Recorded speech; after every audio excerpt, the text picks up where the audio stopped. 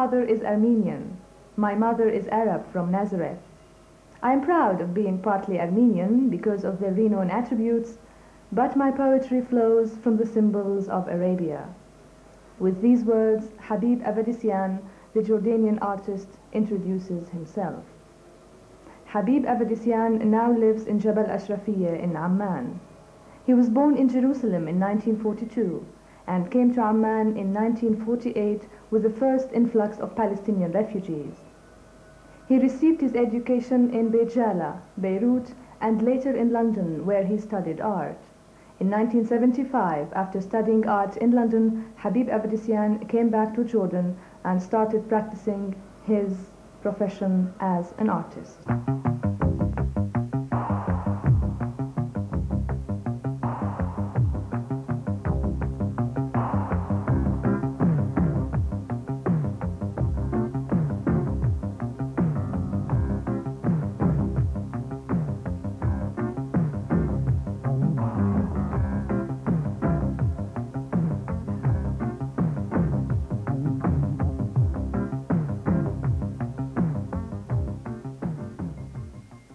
Everyone wants to understand art, and no one tries to understand the song of a bird.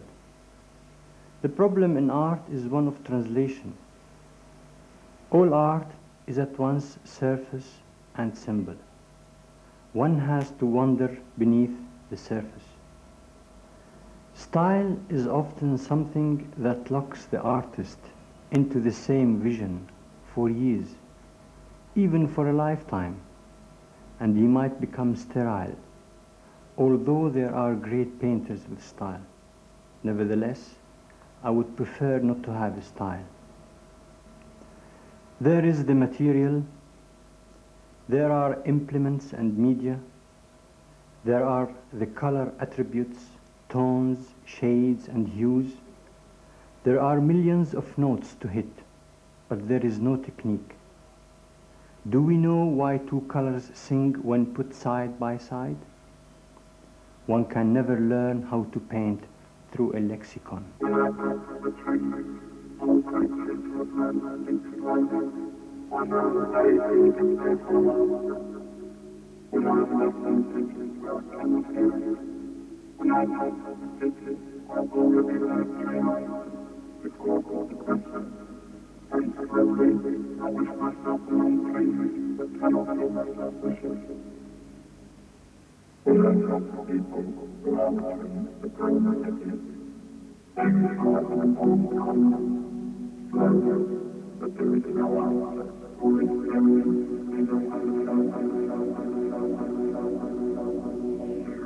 On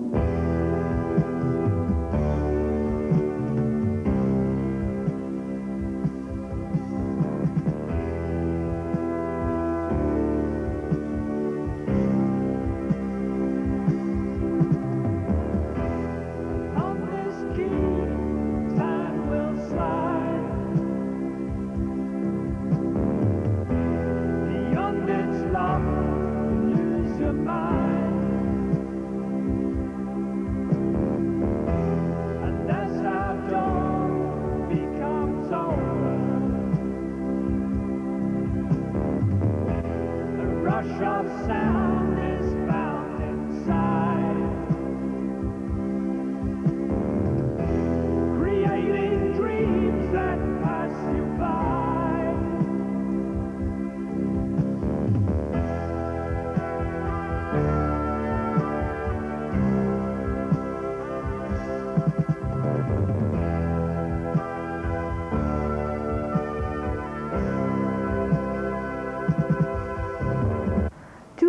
things confuse those who come to know Habib Avedissian.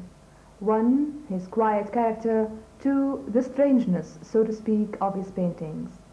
Strange paintings they are indeed, yet one cannot but admire them. If not for their original spirit, then for the deep rapport. Habib's paintings dwell on mythology and often radiate spiritual longings. They breathe the air of long forgotten histories, from which Habib draws mood, character, and atmosphere. For Habib, a painting could be a myth, a short story, or a poem. it could also be all these things together.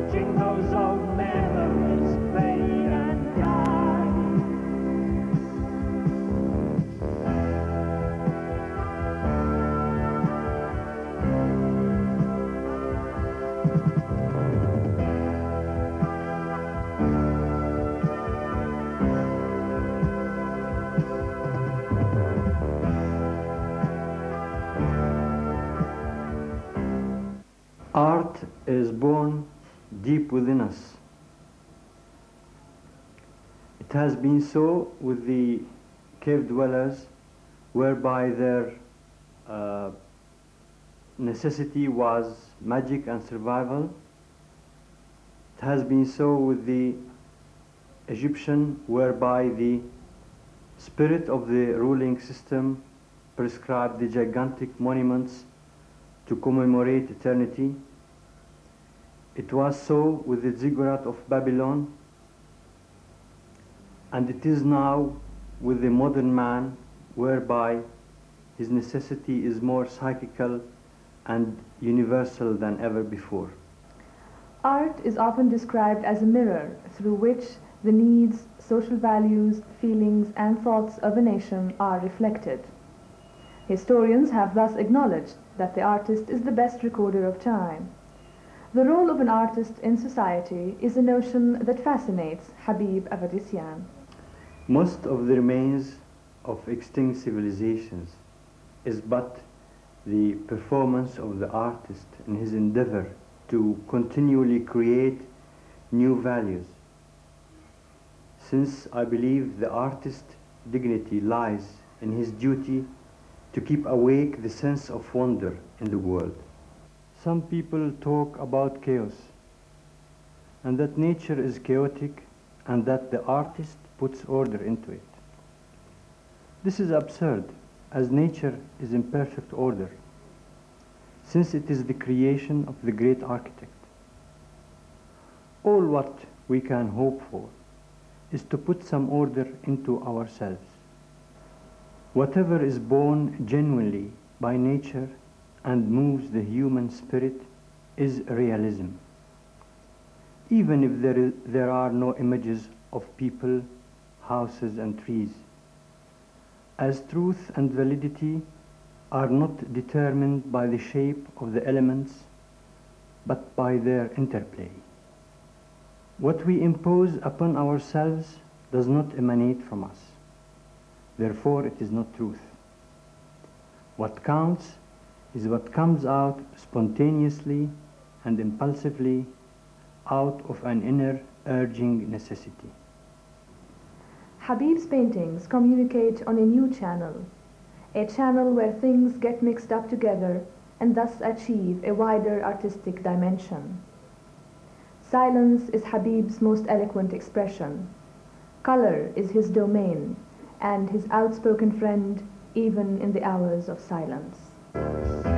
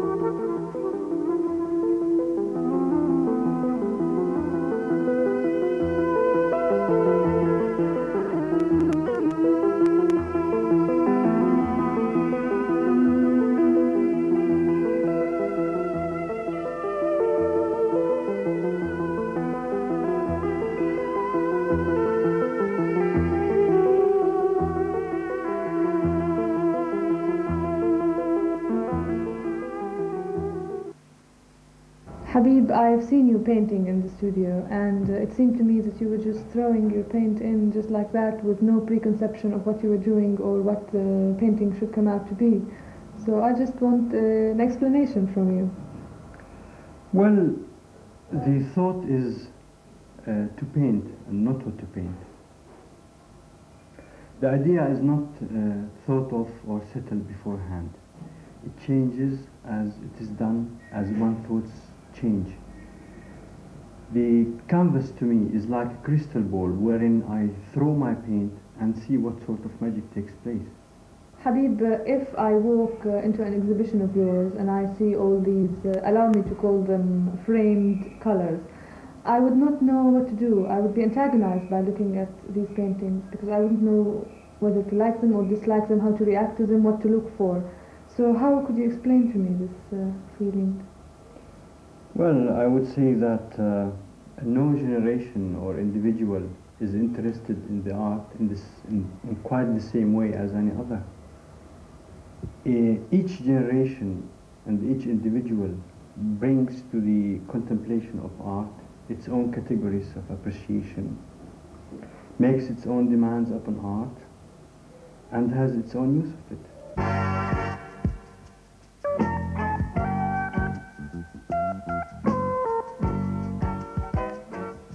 Every man's work, whether be it in literature or music, pictures or architecture, is but a portrait of himself.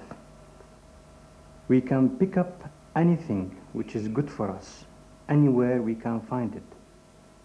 If we have a temperament, it will definitely appear into our imitation. Beauty is in the eye of the beholder and not according to a set of dogmas. It is beyond any canon. Everyone is a genius at least once a year. The only difference with the real genius is that the latter has his bright ideas put close together. We should, however, beware of notions such as genius and inspiration. They are a sort of a magic wand that should be used sparingly if one wants to see through clearly. In the meantime, all one has to do is work.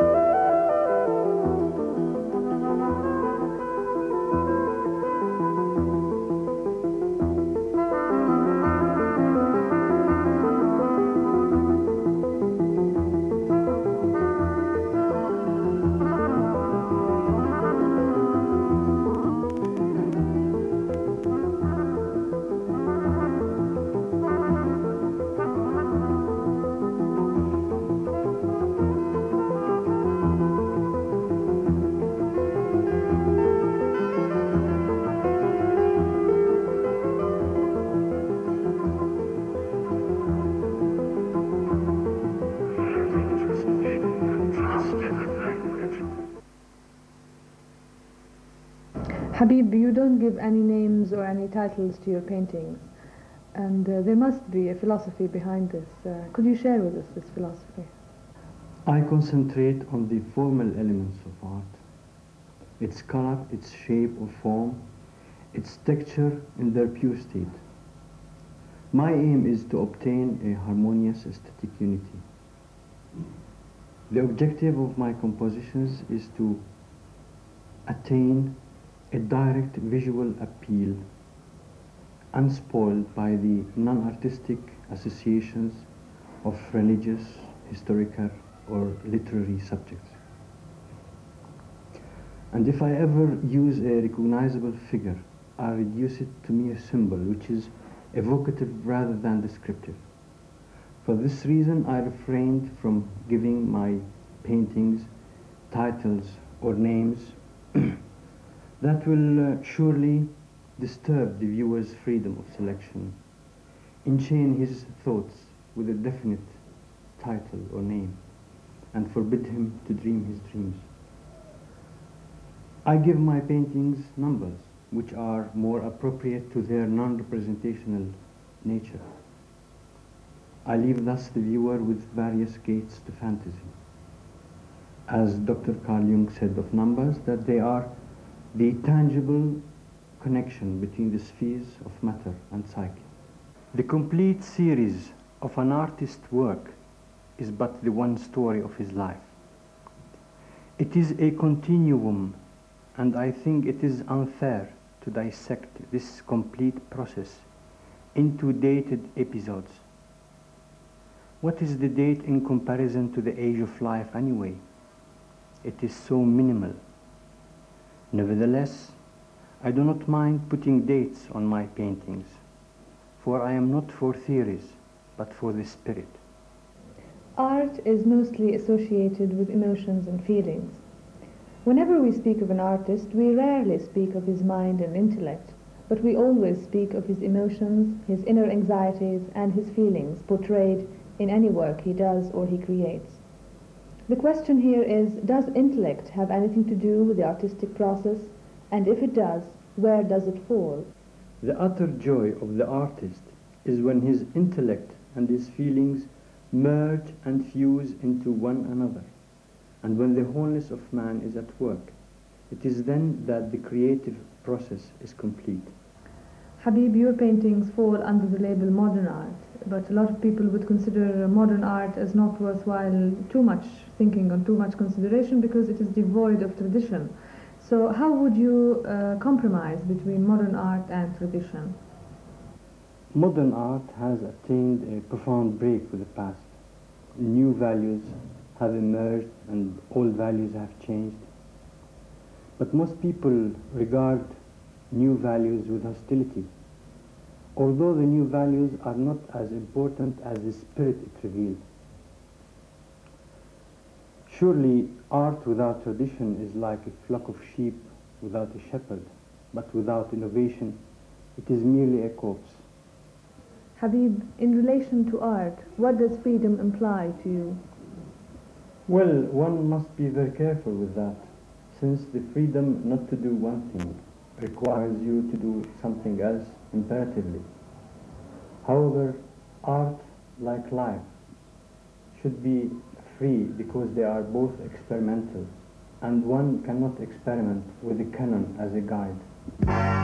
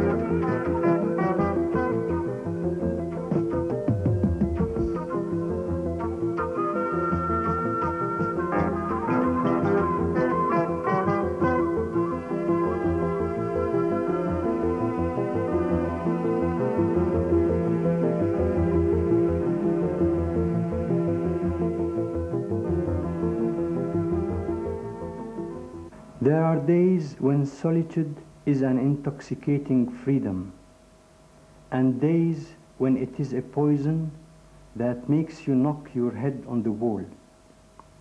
I believe, however, that it is in solitude that the work of hand, mind, and heart is conceived.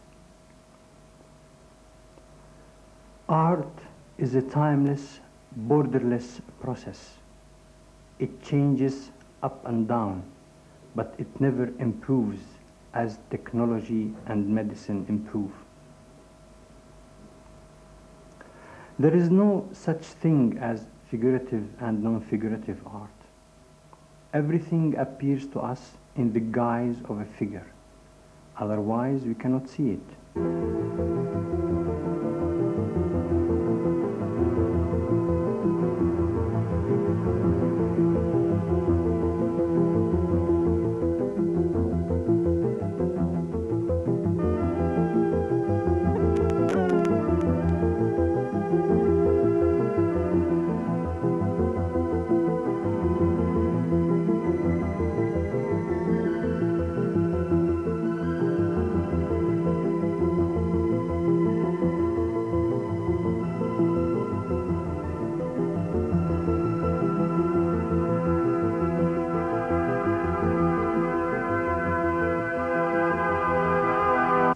Success is dangerous.